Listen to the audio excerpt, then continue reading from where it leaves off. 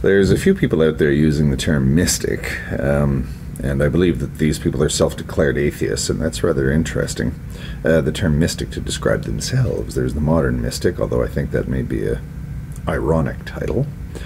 Uh, but then there's Mystic of the Sands, who does strike me as something of a mystic. Um, I am fascinated with mysticism. And one of the interesting things about mysticism is the fact that it's come down to us as just magic, myth.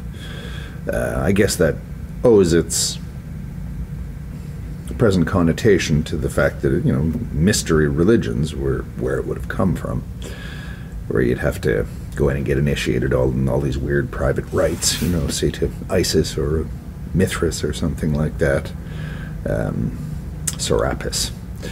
Um, and that's led us to the belief that, or the feeling that, mysticism is just rubbish. It's just uh, just stuff you cook up and you have a bunch of weird ceremonies and you don't you're not allowed to tell anybody about them and you know it's just uh, closed door stuff behind which uh, you do odd things to become a part of uh, this mystery cult or something, or that's the way it worked in the ancient world. Now, mysticism seems to be uh, thought of as you want direct experience of God or whatever it is, direct experience of the metaphysical. I don't know. Um, I like mysticism myself. In fact, I believe that the um, type of I don't know what you'd call it, discipline that interests me the most, or the type of philosophy that interests me most, is along those lines. I want a direct experience of something. Um, but what I want is a direct experience of reality, or the truth, or whatever you want to call that. Um, a lot of people, especially here on YouTube, but I think in general in our society, tend to see philosophy as something you talk about and um, you you know expound upon, you write books about, you discuss this kind of thing. Um, if you ever engage in a long philosophical discussion, one of the interesting things is you you can make the sense you, you can leave a, a long philosophical discussion with the sense of having accomplished something and having arrived at an interesting conclusion, um, even though it took you longer than you would have expected had you just sort of read off your respective positions to each other, because oftentimes you have to go over things again and again and again and again to make sure, uh, or to be make reasonably sure that what you said to the other person is what that person heard. Hence the fact that you get people pulling their hair out all the time, those of us who keep their hair, um, saying, Look, we've been through all of this. Well, yes and no. You've been through it verbally, but when you're using language to talk about experience, you I think that it's kind of presumptuous just to assume that um, once we've arrived at a certain conclusion, we can then move on and forget having arrived at the previous conclusion. We'll just go back to that conclusion. And you end up building something of a house of cards, I think. And what you'd get at the end of that is you get um, weird philosophies like the Benatarian asymmetry, um, where he just takes axioms and pushes them to their reductio ad absurdum, um, because his philosophy is absurd. um, so I think that actually um, mysticism may be actually carrying a lot of baggage that it doesn't really deserve because when you're talking, what you're talking about is not the words themselves. You're talking about the experience that the words are used to describe. And experience, well, you don't have to believe in the metaphysical, you don't have to believe in God, you don't have to believe in any of that stuff to subscribe to the notion that, ex- that experience exists. I personally say that experience exists uh, because, well, I, that flows from my base point, which is the cogito, and I exist and I have experiences. Maybe my experiences are not accurate, but I have the experience. so I want to experience everything that's around me. All that. Okay. So I want to experience it. I want to see it for what it actually is. Um,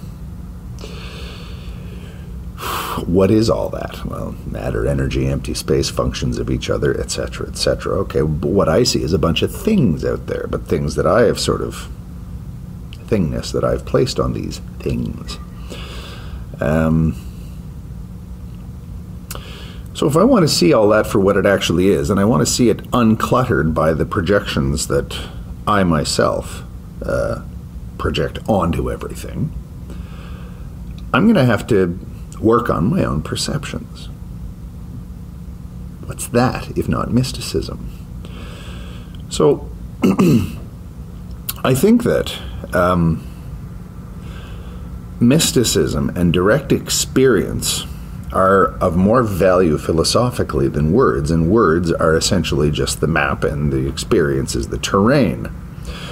Although some people might argue with that and say that words are the map, reality is the terrain, and experience, I guess, is the tools by which you draw the map. I don't know, but you know you can shuffle these metaphors around all you like, but it, there does seem to be a differentiation between what's out there and what I experience.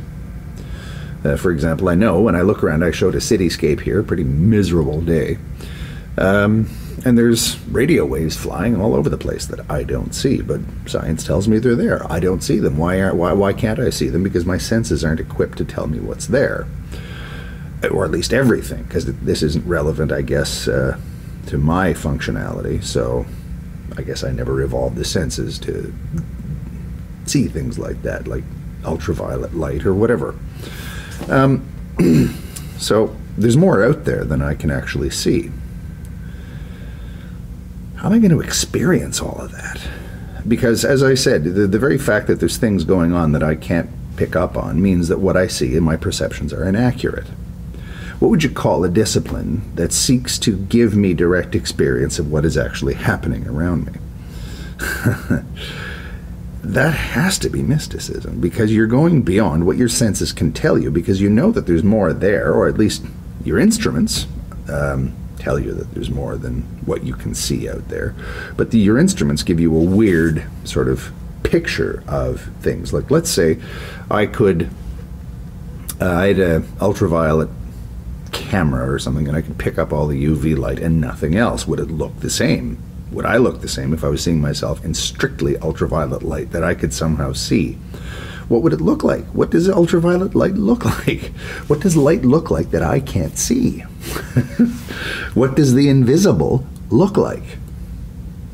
Well, what does anything really look like when you think about it? Because anything that I see is just an interpretation and an edition of what's out there.